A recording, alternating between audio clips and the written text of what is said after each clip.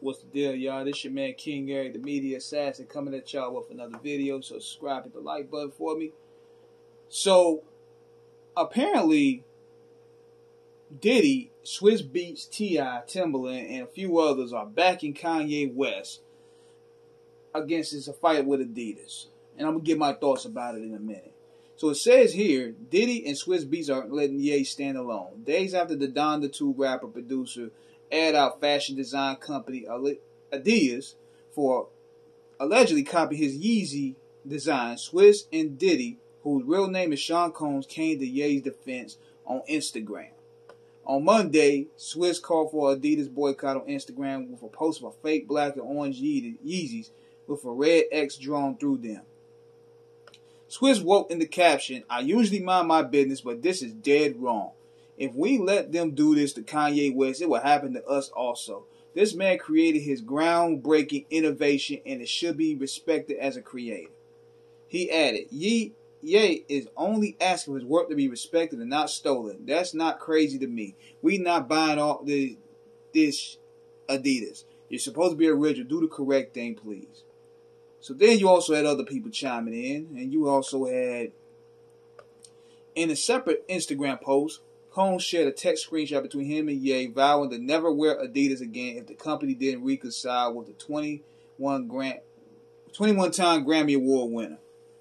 Since the era of Run DMC, Adidas has always used hip hop to build its brand and make billions off our culture.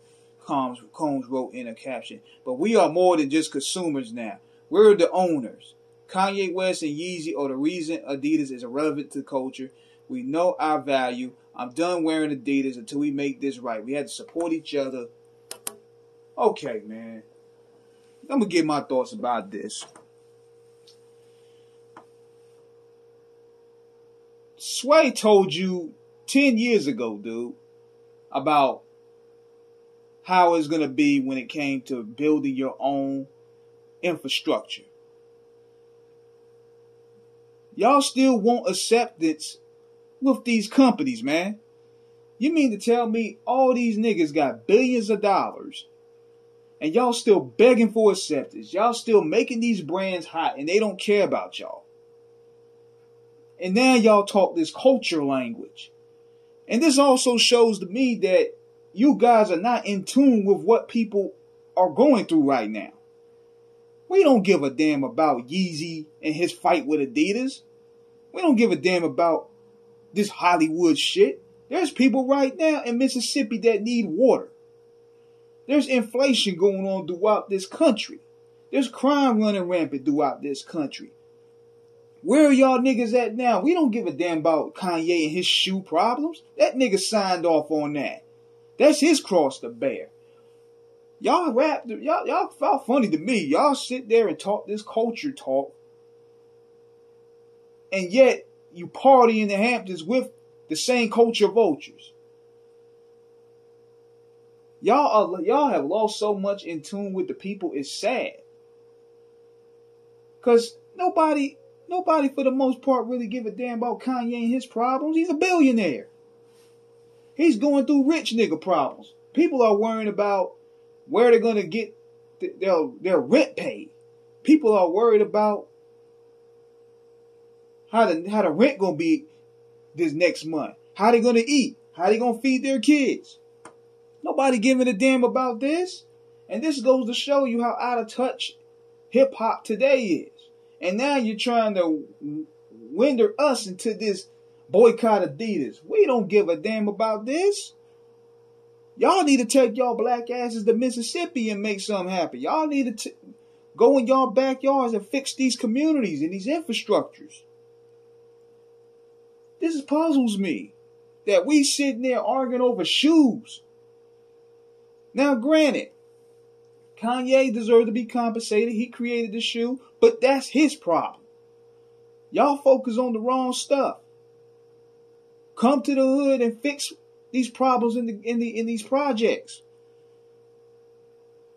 Hip hop has lost their way, man. and the gatekeepers, the so-called gatekeepers today, they lost in tune with what the people are going through. People are dying out here. they're stricken in poverty out here, and the best thing y'all niggas is outrage over some damn shoes. Come on, man. Come on. Unbelievable. Like, this is what y'all choose to get outraged over and not your own people out there struggling and starving? Man, fuck that shoe. That's all I gotta say about that, man. Like, y'all don't lost so much of tune. It's the same way where when these white people kick them in the ass, they want to come crying to us poor folk or us regular folk or or, or us regular blue, blue collar folk to help them out and use our resources. And then we build them back up and then they'll go ahead and cash out and sell it again. Never. Never. Come out here and help the poor people out here, man.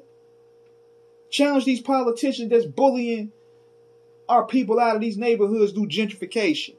Challenge these politicians, these governors, these mayors, on so we can get clean water at least. Challenge them about these rent the rent protection programs that's been expired since last year that's kicking people out of their homes. Use your voice for something different, man. Fuck shoes. Fuck Adidas. Fuck Kanye. That's how I, that's how I passionately feel about it. So anybody that want to come in here and talk that stand talk, I'm not trying to hear it, man. There's too much going on in this world for us to focus on shoes. And I'm disappointed that we use our voices for so much of the meaningless things. And I and I'm speaking from the heart here. So let me know what you guys think. I'm gonna chime in more on this Sunday with Remedy. Holla.